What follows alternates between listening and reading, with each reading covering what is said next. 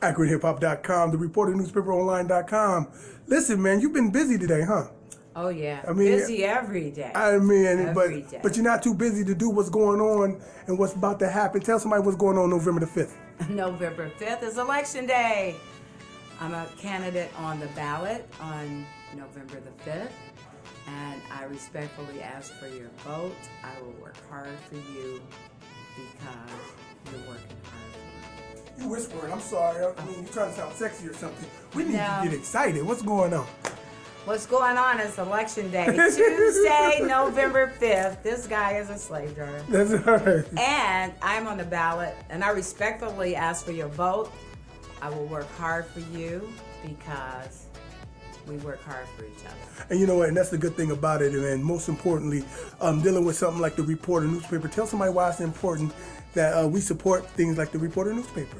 Well, everyone needs a voice, and uh, the reporter gives African Americans uh, a voice, and uh, that's very important because everyone needs to be and wants to be heard, and do it. Uh, although we do it in a respectful manner, and the reporter has always been a re- very respectable uh, news uh, paper, and um, You know the people down there. I do.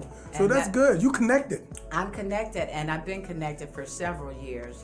Uh, relationships mean a lot, and I carry that, you know, uh, proudly that I know uh, Mr. Ellis from uh, back when I was in college. Well, see, that's good. So tell somebody why they should vote for you. Let's go straight for the juggler.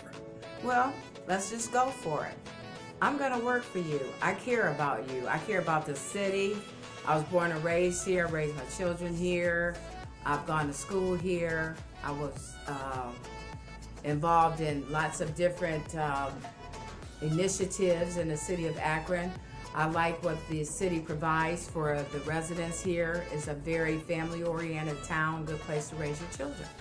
Well, listen, man. Um, if somebody want to get involved with you, follow you or whatever, how can they get in touch with you? Well, you can follow me on Facebook. I also uh, have a website, and um, you know, AkronHipHop.com.